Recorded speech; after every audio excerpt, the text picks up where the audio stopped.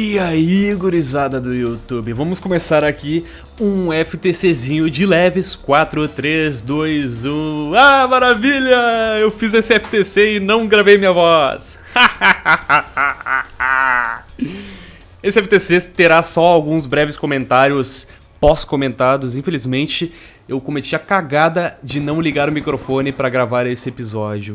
O que acontece é o seguinte, pessoal. Eu tenho um microfone que, quando, quando ele fica ligado no computador via USB, ele emite uma luz azul forte e altamente irritante para dormir. Daí toda vez que eu vou dormir, eu desligo esse microfone, eu desplugo do computador. O que acontece? O programa que eu uso para gravar não é mais o DxTory. Agora é o MeRelease Action. Eu comprei ele recentemente. Ele, ele consegue gravar arquivos de vídeo uh, com um tamanho muito menor, muito menor do, do que o DxTory. E como vocês podem ver, esse vídeo aqui tá a 1080p. Exatamente, todos os vídeos de computador que eu fizer a partir de agora serão a 1080p, com exceção aqueles em que eu tiver muita pressa em postar. Uh, então, esse vídeo está gravado a 1080p, só que sem microfone. Por quê? Porque quando eu desplugo o cabo USB do microfone do computador, o programa automaticamente muda a opção do microfone, ele muda para o outro microfone existente. No caso, o outro microfone era o do meu headset aqui, o, o, Astro A50. Só que o microfone do Astro também estava desligado, porque ele estava recolhido para cima. Quando ele fica recolhido para cima, ele fica desligado. E aí, quando eu abri o programa para gravar, o microfone ainda não estava plugado no computador. Aí o microfone selecionado era outro. E mesmo depois de ter plugado o microfone no computador, ele ainda não reconheceu. Eu teria que reiniciar o programa. Eu acabei gravando com ele assim como estava. Então é isso aí, esse vai ser o primeiro FTC sem comentários ao vivo que vocês vão ver, infelizmente. Mas eu acho que eu acho que é válido até postar essas partidas aí. No caso essa aí eu tava jogando com a Scar H, que é uma arma bem forte do Black Ops 2. Tem a Scar H e a Scar L. A Scar L tem no MW3 e, se eu não me engano, tá no... Não, não tá no Battlefield 3, tô, tô confundindo. Só tem no MW3. Uh, já a Scar H tá presente no MW2, no Battlefield 3 e no Black Ops 2. A Scar H, que é a Scar Heavy, ela tem um fire rate hum, bem menor do que a Scar L. A Cicarelli. Resumindo, ela é uma mais, ela é uma arma mais forte, só que com fire rate menor. E eu tava jogando um Team Deathmatch nessa partida aí. Uh, o, o, meu colega de time ali, que não sei, não sei qual é o nome dele agora, vocês vão ver daqui a pouco, ele conseguiu pegar um Swarm. Swarm no Team Deathmatch. Parabéns, cara. Muito bem, muito bem. É o I'm Nuka, apareceu o nome dele ali agora. E é isso aí, eu vou deixar vocês curtirem essa partida a partir de agora. Depois eu comento mais um pouco nas próximas partidas.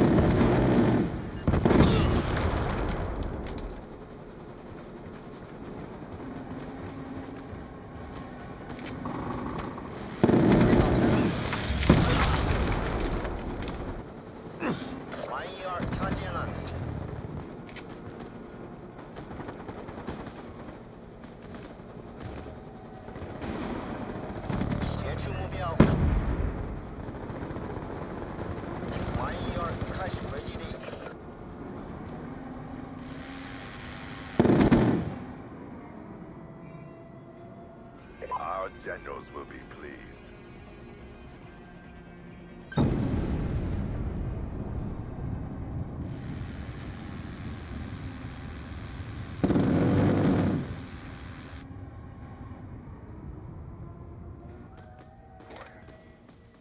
E essa aí foi uma partida de Hardpoint, só que contra gringos. Olha meu ping, tava 254.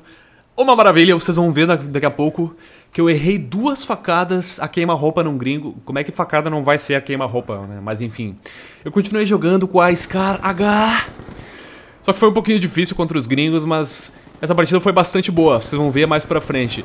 E ali mais pro meio da partida vocês vão ver uma coisa maravilhosa que aconteceu, cara. Ia ser o título desse FTC até.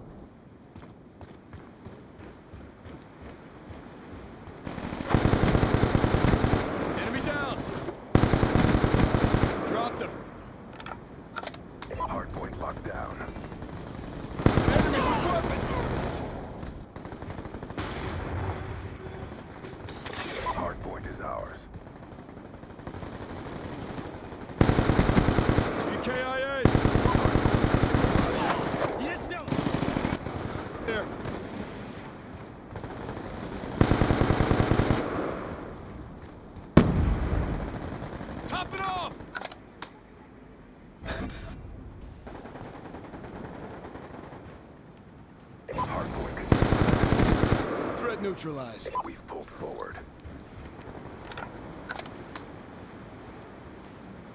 Hardpoint contested. Dry.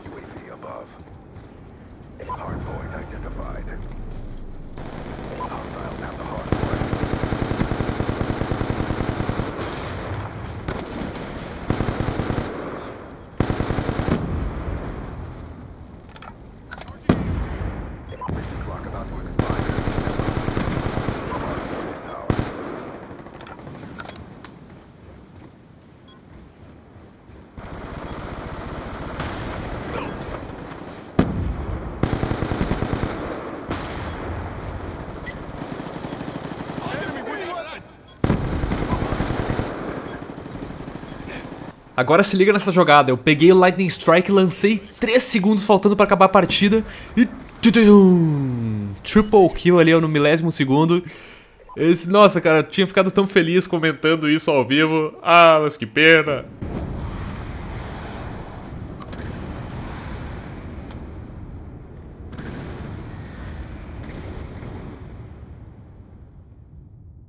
Yemen rima com partidinha de free for all só pra finalizar o FTC. Dessa vez com a B23R, é uma pistolinha que dá 3 tiros de cada vez. Acho que no último FTC eu até tinha dito que não ia jogar com essa pistolinha, mas acabei jogando. Bem divertido de usar ela. E vou deixar vocês conferirem o resto da partida.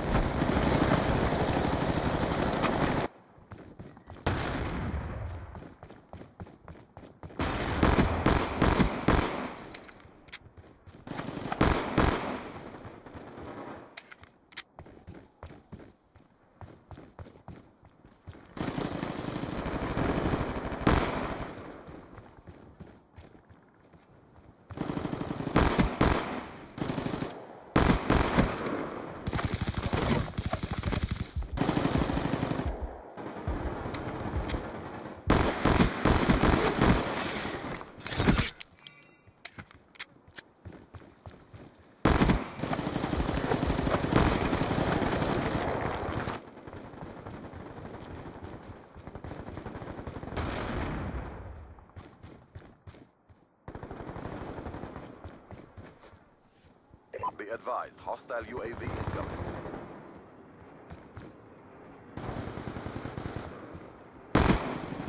Hostile counter UAV